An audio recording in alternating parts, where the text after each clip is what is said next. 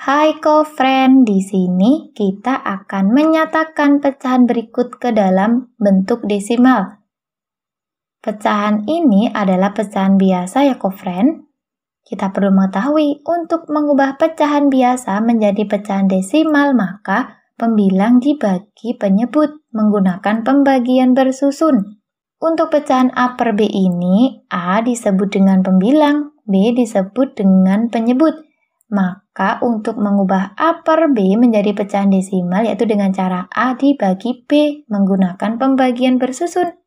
Kita mulai kerjakan yang A yaitu 1 per 8. Maka artinya 1 dibagi 8. Karena satu tidak bisa dibagi 8, maka kita membutuhkan bantuan 0 kofren kita letakkan di belakang angka 1.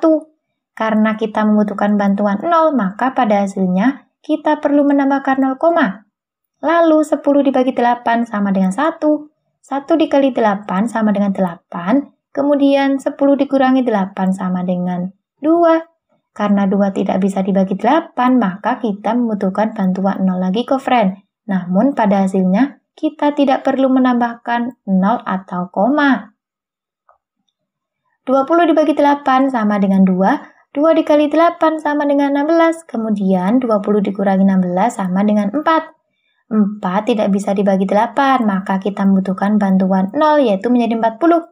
40 dibagi 8 sama dengan 5, 5 dikali 8 sama dengan 40. 40 dikurangi 40 sama dengan 0, karena sisa baginya sudah sama dengan 0, maka berhenti kofren.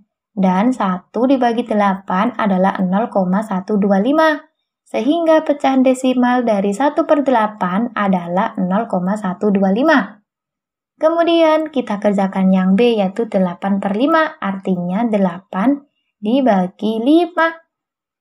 8 dibagi 5 sama dengan 1, 1 dikali 5 sama dengan 5, kemudian 8 dikurangi 5 sama dengan 3, jika tidak bisa dibagi 5, maka membutuhkan bantuan 0 menjadi 30. Karena membutuhkan bantuan 0, maka pada hasilnya kita perlu menambahkan koma. 30 dibagi 5 sama dengan 6. 6 dikali 5 sama dengan 30. Kemudian 30 dikurangi 30 sama dengan 0.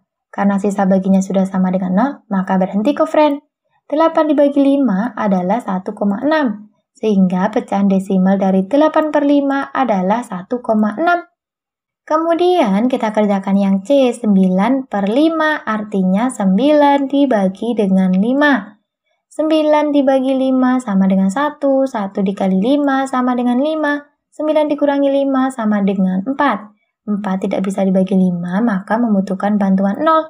Dan pada hasilnya kita tambahkan koma. 40 dibagi 5 sama dengan 8, 8 dikali 5 sama dengan 40, lalu 40 dikurangi 40 sama dengan 0. Sisa baginya sudah sama dengan 0, maka berhenti. 9 dibagi 5 adalah 1,8. Maka pecahan desimal dari 9 per 5 adalah 1,8 kofren. Akhirnya kita telah menyelesaikan soal ini ya. Tetap semangat dalam belajarnya. Sampai jumpa pada soal berikutnya.